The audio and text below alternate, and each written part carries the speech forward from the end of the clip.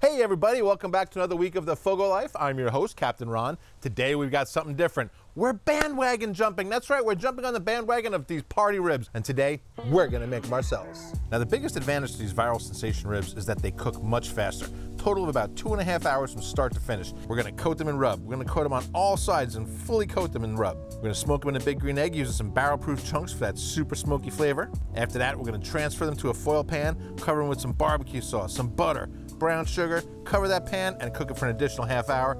Then we're gonna remove that foil cover, cook it for 15 minutes more, get them nice and sticky and tacky, just the way we like them. And for today's cook, we're gonna be using these beautiful St. Louis ribs. You can use back ribs for this, baby backs. You can use St. Louis. I like St. Louis because they have a little bit more meat, but they're not quite as beefy as a spare rib. So St. Louis for me. The one thing I always find is they have this kind of thin end down the back here, so I'm gonna take that right off. I'm gonna cut it right inside this first bone here, straight across. So there we have our beautiful rack. They don't need, really need any cleaning up here. There's no extra fat on here. We can cut this little flap off, little skirt steak if we want to. Again, just to reiterate, I am leaving the uh, membrane on. If you want to pull it off, that's up to you. Have at it, okay? I don't think there's any right or wrong when it comes to these. What we're gonna do here now is you're gonna take the ribs and you can see where the bones are. We're gonna cut in between each bone. We want each individual rib out separate. So we'll start down this end here and work our way down. Just make sure you're getting right in between. You can feel, as you run your fingers across, you can feel where the bone is. Just make sure you're going right in between the bones. And there we have it. There are all of our ribs. Beautiful, nice. You can see nice and meaty. They got a nice fat layer in there. These are gonna be some good tasting ribs right here. This, this, this recipe is almost too simple. The only thing we have to do now is season them up. So I'm gonna grab my seasoning and load these babies up. All right, so we're gonna start with our notorious PIG seasoning here. All right, made by PS Seasoning. It's got a nice little kick to it. It's got a little heat. So I'm just gonna knock the barbecue prep tub up here a little bit, and we're gonna give them a nice coat. I'm gonna use two different rubs. We're gonna use this one, and we're gonna use Grill Girl Robyn's Floridian Sunshine here. So we wanna make sure we're getting a good coating. Don't forget, we're gonna cover all sides, so we can go with some extra here, and just mix them up. Mix them up, hit them again, until they're fully coated. All right, now just for some extra flavor, we're gonna hit them with Girl Robyn's Sunshine State of Mind. It's got a nice little hint of citrus and sweetness to it, so it's gonna be a really nice um, mixture with that PIG seasoning.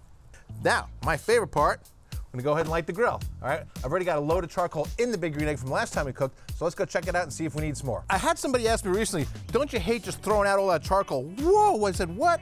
They said, oh, when I get done with my cook, I, you know, close it down, then I throw out that charcoal. Don't ever do that. You can see, we've got a used batch of charcoal in here already now. This is, we used this to cook on once already. It's still good. You can use this over and over again, okay? Until it's all gone and not, and just down to ash. So I wanna make sure that you understand you can do it. I highly suggest you get this, you kick ash basket. It makes clean out a lot easier. Just shake it, get all that ash out, and then clean the bottom out. Now the difference between lighting up brand new charcoal and some used charcoal, it's exactly the same. You're gonna put your two starters inside your Blazaball, same way you always would, close it up, just set it right in the middle.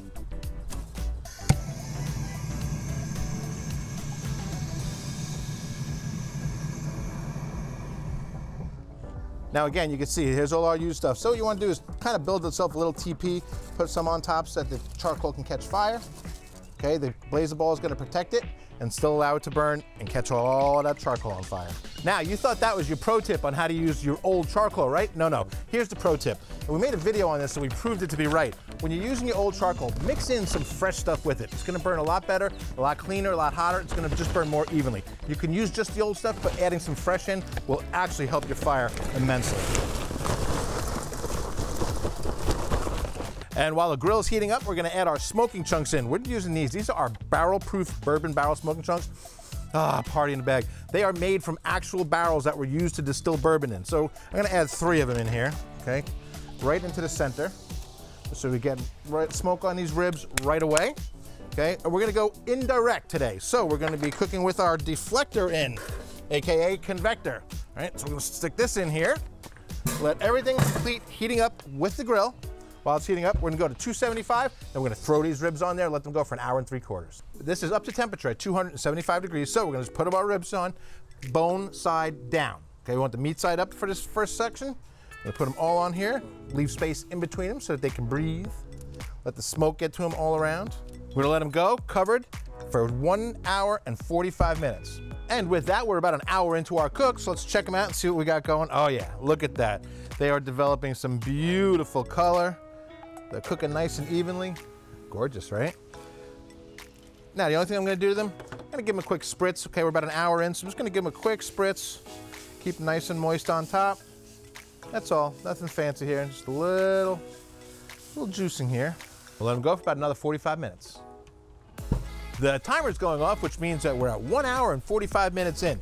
On to our next step. We're gonna take them out, we're gonna put them in here, put some sauce on them, put some butter, some brown sugar, cover them up, let them get nice and tacky, almost like a burnt ends kind of thing is what we're gonna do here. So look at these babies. Oh man, they are gorgeous, bubbly. The color is absolutely amazing looking. Now they're all tucked down in there, gorgeous. This is real simple. This next part is really super simple. What we're gonna do is gonna add some fats in there, some butter. Gonna put a bunch of sauce in here. I'm gonna use PS Seasonings Peach Buzz. I love this stuff. We're just gonna sprinkle some brown sugar. That's all we're gonna do. So we'll go ahead and move along to the next step. Now this next step is really where we build our tenderness. So what we're gonna do is we have this in here with all our good stuff we just put on there. We're gonna cover it tightly so that it seals up and it's gonna basically cook in its own steam and juices. That's really gonna tenderize these ribs and make them super, super, super tender. All right, so for the last part two, we're gonna keep the temperatures the same at 275. So we are all set to go back on. It's gonna go on for about a half hour. Ready? Here we go. To the grill. And here we are back again at two hours and 20 minutes in. So we're almost done. They are smelling incredible. Let's check it out. All right, so our next step is gonna be to take this off, uncover them. Look at that, look at all those juices. They are gonna be just absolutely insane. For the last part, I'm just gonna open up this bottom vent a bit, get some air going through there and heat up this fire. Just gonna put them on for about 10 minutes just like this. And it's okay to do it while it's heating up. The idea is I want to just get a little bit stickier, a little bit tackier. So about 10 minutes, some higher heat. Oh, they're gonna be so good. I wish that you could smell them. Oh, it's worth it. Check it out. Here's what the deal is. They are done. They've been going for about a half hour like this, but you can tell here, the probe just sinks right in. Plus we're at, let's see, 201, 203. So they're all at 195, 198, 201. Okay, they're all there. But the way that this just goes in, I don't have to put any pressure. It just sinks right through the meat. You know that's how it's done. But you should see these things. Look at them. They are gorgeous. See what I mean? Seasoning all around. All sides have the seasoning. Look how beautiful and shiny and glossy these things are. Oh my goodness.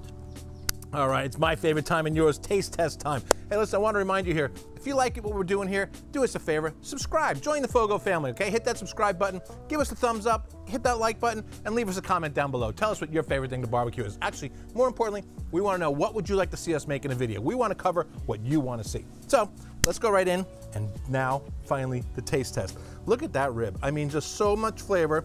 I keep repeating myself, I know, but they're so saucy, so nice and sticky and tacky the way they're supposed to be. My favorite time, hopefully yours too. Good Lord. Mm, look at that bite. That's a perfect bite through bite. And it's tender too. I didn't have to try at all. Went right through. I know that you're waiting for my review, but uh, here's my review. yeah, so that is one mighty tasty rib. I will definitely be doing these again. I can see why they're popular. Party ribs, two and a half hours, done, start to finish.